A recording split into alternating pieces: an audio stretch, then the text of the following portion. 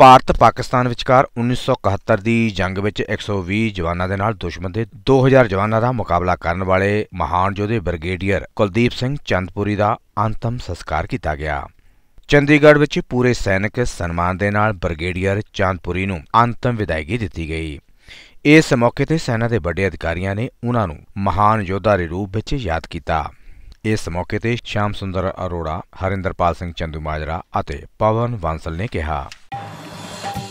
Brigadier Kuldeep Singh Chandpuri, ਮੈਂ ਸਮਝਦਾ ਦੇਸ਼ ਭਗਤੀ ਦਾ ਇੱਕ ਅਜ਼ੀਮ ਮੁਜੱਸਮਾ ਜਿਹੜਾ ਸਾਡੇ ਵਿੱਚ ਨਹੀਂ ਰਹੇ। ਕੁਦਰਤੀ ਰੂਪ ਵਿੱਚ ਜਿੱਥੇ ਇੱਕ ਬਹੁਤ ਵੱਡਾ ਘਾਟਾ ਸਮੁੱਚੇ ਹਿੰਦੁਸਤਾਨ ਦੇ ਲੋਕਾਂ ਲਈ, ਉੱਥੇ ਮੈਂ ਸਮਝਦਾ ਜਿਹੜੀਆਂ ਉਹਨਾਂ ਦੀਆਂ ਪਾਈਆਂ ਹੋਈਆਂ ਲੀਹਾਂ ਨੇ, ਦੇਸ਼ ਭਗਤੀ ਸੂਰਵੀਰਤਾ ਤੇ ਦਲੇਰੀ ਦੀਆਂ ਜਿਹੜੀਆਂ ਮਿਸਾਲਾਂ ਉਹਨਾਂ ਨੇ ਆਪਣੇ ਜੀਵਨ ਵਿੱਚ ਕਾਇਮ ਕੀਤੀਆਂ, ਉਹ ਸਾਡੀ ਜਵਾਨੀ ਲਈ ਹਮੇਸ਼ਾ ਇੱਕ ਪ੍ਰੇਰਣਾ ਦਾ ਸਰੋਤ ਰਹਿਣਗੀਆਂ। ਸੋ ਮੈਂ ਜਿੱਥੇ ਆਪਣੇ ਵੱਲੋਂ ਇਸ ਇਲਾਕੇ ਦੇ, ਜਿਸ ਇਲਾਕੇ ਦੇ ਵਿੱਚ ਬ੍ਰਿਗੇਡੀਅਰ ਕੁਲਦੀਪ ਸਿੰਘ ਚਾਂਦਪੁਰੀ ਸਾਹਿਬ, ਉਹਨਾਂ ਦਾ ਜੱਦੀ ਪਿੰਡ ਸੀਗਾ ਚਾਂਦਪੁਰ ਉੜਕੀ। ਬਲਾਚੌਰ ਹਲਕੇ ਦੇ ਵਿੱਚ ਉੱਥੋਂ ਨੁਮਾਇੰਦਗੀ ਮੇਰੇ ਪਿਤਾ ਪ੍ਰੋਫੈਸਰ ਪ੍ਰੇਮ ਸਿੰਘ ਜੀ ਚੰਦੂਮਾਇਰਾ ਸਾਹਿਬ ਕਰਦੇ ਨੇ, ਜਿਹੜੇ ਸਵੇਰੇ ਆ ਕੇ ਗਏ, ਪਰਿਵਾਰ ਨਾਲ ਦੁੱਖ ਵੰਡਾ ਕੇ ਗਏ।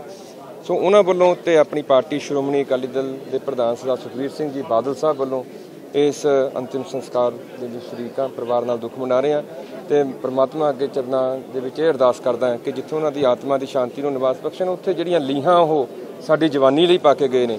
ਅਸੀਂ ਉਹਨਾਂ ਲੀਹਾਂ ਤੇ ਚੱਲ ਕੇ ਉਹੀ ਜਿਹੀਆਂ ਮਿਸਾਲਾਂ ਕਾਇਮ ਕਰਨ ਦਾ ਯਤਨ ਕਰੀਏ, ਜਿਹੋ ਜਿਹੀਆਂ ਸਰਦਾਰ ਕੁਲਦੀਪ ਸਿੰਘ ਚਾਂਦਪੁਰੀ ਪਾ ਕੇ। ਮੈਂ ਆਪਣੀ ਸ਼ਰਧਾਂਜਲੀ ਉਹਨਾਂ ਨੂੰ ਅਰਪਿਤ ਕਰ ਰਿਹਾ ਹਾਂ। ਇੱਕ ਬਹੁਤ ਹੀ ਬਹਾਦਰ ਉਹ ਇੱਕ ਸਾਡੇ ਦੇਸ਼ ਦੇ ਸਿਪਾਹੀ ਸਨ, ਜਿਨ੍ਹਾਂ ਨੇ ਉਸ ਵਕਤ ਇੱਕ ਯੰਗ ਨੌਜਵਾਨ ਮੇਜਰ ਦੇ ਤੌਰ ਤੇ ਲੌਂਗੋ ਵਾਲੇ ਦੀ ਲੜਾਈ ਦੇ ਵਿੱਚ ਦੇਸ਼ ਦੇ ਵਾਸਤੇ ਬਹੁਤ ਵੱਡੀ ਜਿੱਤ ਹਾਸਲ ਕੀਤੀ। ਅਤੇ ਬਹੁਤ ਵਰਿਆਂ ਤੋਂ ਮੈਂ ਜਾਣਦਾ ਹਾਂ, ਕਦੇ ਉਹਨਾਂ ਤੋਂ ਇਹ ਨਹੀਂ ਸੀ ਕਿਸੇ ਗੱਲ ਦਾ ਪਤਾ ਲੱਗਦਾ ਕਿ ਉਹ ਕਿਸੇ ਗੱਲ ਦਾ ਉਹਨਾਂ ਨੂੰ ਮਨ ਦੇ ਵਿੱਚ ਕੋਈ ਦਿਖਾਵਾ ਹੋਵੇ ਕਿਸੇ ਢੰਗ 'ਚ ਮੈਂ ਕੀ ਕੀਤਾ ਹੈ ਉਹਨਾਂ ਨੇ। ਬਹੁਤ ਬਖੂਬੀ ਉਹਨਾਂ ਨੇ ਆਪਣੀ ਪੂਰੀ ਫੌਜ ਦੀ ਸੇਵਾ ਕਰਨ ਤੋਂ ਬਾਅਦ ਜਦ ਇੱਥੇ ਰਿਟਾਇਰ ਹੋ ਕੇ ਆਏ ਕਾਰਪੋਰੇਸ਼ਨ ਦੇ ਵਿੱਚ ਵੀ 5 ਸਾਲਾਂ ਦੇ ਵਾਸਤੇ ਨੋਮੀਨੇਸ਼ਨ ਉਹਨਾਂ ਦੀ ਹੋਈ। ਉਸ ਸਮੇਂ ਦੇ ਵਿੱਚ ਵੀ ਉਹਨਾਂ ਨੇ ਚੰਡੀਗੜ੍ਹ ਦੇ ਨਾਲ ਤਾਲੁਕ ਰੱਖਣ ਵਾਲੇ ਹਰ ਇੱਕ ਮੁੱਦੇ ਤੇ ਆਪਣੇ ਵਿਚਾਰ ਰੱਖੇ, ਬਹੁਤ ਸੰਜੀਦਗੀ ਦੇ ਨਾਲ ਤੇ ਇੱਕ ਪਰਸੂਏਸਿਵ ਤਰੀਕੇ ਦੇ ਨਾਲ ਲੋਕਾਂ ਨੂੰ ਹੋਰਾਂ ਨੂੰ ਨਾਲ ਕੀਤਾ। ਇੱਥੇ ਦੇ ਸਟ੍ਰੇ ਡੌਗਸ ਦਾ, ਇੱਥੇ ਦੇ ਐਕਸ ਸਰਵਿਸਮੈਨ ਦਾ, ਹਰ ਇੱਕ ਇਸ਼ੂ ਤੇ ਉਹਨਾਂ ਨੇ ਬਹੁਤ ਜ਼ੋਰ ਨਾਲ ਕੀਤਾ। ਅਤੇ ਇੱਕ ਚੀਜ਼ ਜਿਹੜਾ ਮੇਰੇ ਨਿੱਜੀ ਤੌਰ ਤੇ ਅਸੀਂ ਇੱਕ ਟਾਈਮ ਤੇ ਸੋਚਿਆ ਸੀ ਆਪਸ ਵਿੱਚ ਕਰਨਾ, ਫਿਰ ਉਹ ਸਾਥੋਂ ਮਟੀਰੀਅਲਾਈਜ਼ ਨਹੀਂ ਹੋਈ। ਉਹ ਜਿਹੜੀਆਂ ਮੈਰਾਥਨ ਵਗੈਰਾ ਹਨ, ਜਿਹੜੀਆਂ ਕਿ ਸੜਕ ਤੇ ਦੌੜਾਂ ਹੁੰਦੀਆਂ ਨੇ, ਉਹਨਾਂ ਦੇ ਵਿੱਚ ਵੀ ਉਹਨਾਂ ਦੀ ਬਹੁਤ ਦਿਲਚਸਪੀ ਸੀ ਤੇ ਉਹਨਾਂ ਨੇ ਬਹੁਤ ਹਿੰਦੁਸਤਾਨ ਦੇ ਵਿੱਚ ਉਹਦਾ ਰੋਲ ਪਲੇ ਕੀਤਾ। ਲੋਕਾਂ ਨੂੰ ਉਹਨਾਂ ਦੀ ਲੀਡਰਸ਼ਿਪ ਕੀਤੀ, ਉਹਨਾਂ ਨੂੰ ਮੈਂਟੋਰ ਕੀਤਾ ਉਸ ਗੱਲ ਦੇ ਵਿੱਚ। ਉਹ ਅਸੀਂ ਇੱਥੇ ਚਾਹੁੰਦੇ ਸਾਂ, ਪਰ ਕਈ ਹਾਲਾਤ ਦੇ ਕਾਰਨ ਉਹ ਨਹੀਂ ਹੋ ਪਾਏ। ਅੱਜ ਉਹਨਾਂ ਨੂੰ ਜਦੋਂ ਯਾਦ ਕਰਦੇ ਹਾਂ, ਸਹੀ ਮਾਇਨੇ ਦੇ ਵਿੱਚ ਬਹੁਤ ਉੱਚੀ ਪਦਵੀ ਉਹਨਾਂ ਨੇ ਲੋਕਾਂ ਦੇ ਮਨ ਦੇ ਵਿੱਚ, ਚੰਡੀਗੜ੍ਹ ਦੇ ਵਿੱਚ ਤਾਂ ਖਾਸ ਤੌਰ ਤੇ ਮੈਨੂੰ ਪਤਾ ਹੈ ਬਣਾਈ ਸੀ। ਅਤੇ ਜਿਨ੍ਹਾਂ ਜਿਨ੍ਹਾਂ ਨਾਲ ਵਾਹ ਪਿਆ, ਉਹ ਤਾਂ ਉਹਨਾਂ ਦੇ ਵਾਸਤੇ ਜ਼ਰੂਰ ਪ੍ਰਸ਼ੰਸਕ ਉਹਨਾਂ ਦੇ ਬਣੇ।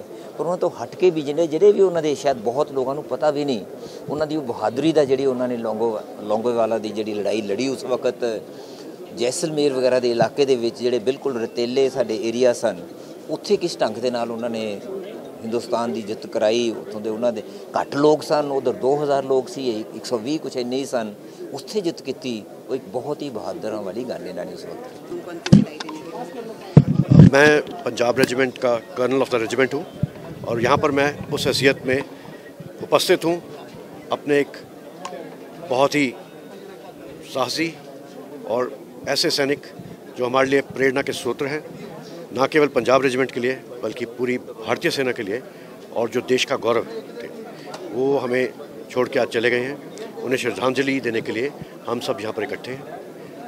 और आप जैसे जानते होंगे ब्रिगेडियर कुलदीप सिंह चांदपुरी का नाम जब भी लिया जाता है तो हमें याद आता है 1971 का वो युद्ध, जहाँ लॉन्गे वॉल के ऊपर पाकिस्तानी फ़ौज ने और टैंकों ने घमासान हमला किया था।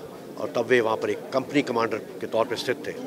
और इनका अडिग साहस और इनका नेतृत्व जो था, उसी के बलबूते पर पंजाब रेजिमेंट, तेईस पंजाब की वो कंपनी वहाँ पर तैनात रही और दुश्मन की चुनौती को भरपूर तरह से स्वीकार किया और दुश्मन को लताड़ा।